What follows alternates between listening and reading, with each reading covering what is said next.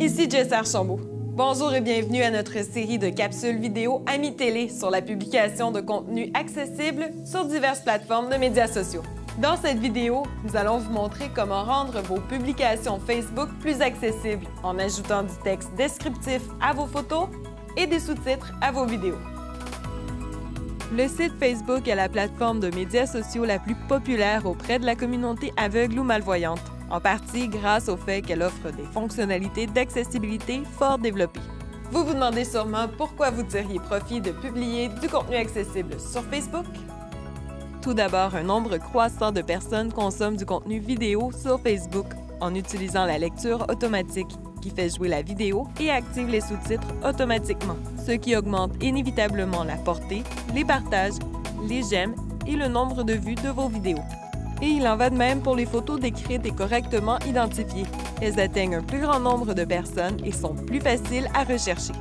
Le fait de rendre vos photos et vidéos accessibles au plus grand nombre de personnes possible, incluant les personnes aveugles ou malvoyantes, ou encore les personnes sourdes ou malentendantes, est donc un atout pour votre page. Alors par où commencer? Voici comment publier une photo sur Facebook afin de la rendre accessible à une personne aveugle ou malvoyante en y ajoutant un texte descriptif. La première étape consiste à télécharger la photo à l'aide du bouton Partager une photo ou une vidéo. Vous pouvez partager plusieurs photos à la fois sur Facebook, mais pour cette démonstration, téléchargeons-en une seule. Prenons cette image de chien guide, par exemple. Ce qu'il faut garder en tête lors de la description d'une image, c'est de s'assurer qu'une personne peut la comprendre même les yeux fermés. Tapez ou copiez et coller à partir d'un document texte votre description de la photo. Après avoir ajouté une description, il est temps de publier ou de programmer la publication.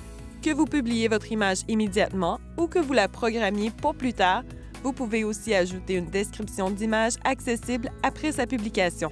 Cliquez sur le bouton de publication bleu. Ce n'est pas plus compliqué que ça. Maintenant, même une personne qui ne peut voir la photo y a accès avec un lecteur d'écran comme VoiceOver sur iPhone ou TalkBack sur Android. L'intelligence artificielle améliore les descriptions d'images automatisées, mais la description de toutes vos photos vous permet de créer une expérience utilisateur totalement inclusive. Si les photos contribuent à augmenter la portée de vos publications sur Facebook, que dire des vidéos? Ce n'est pas un secret. Facebook veut vous garder sur sa plateforme le plus longtemps possible pour vous montrer du contenu publicitaire. C'est pourquoi l'algorithme en constante évolution vous récompense d'avoir publié des vidéos directement sur Facebook. D'ailleurs, les vidéos originales sur Facebook sont partagées environ 10 fois plus que des liens via YouTube ou d'autres sites Web.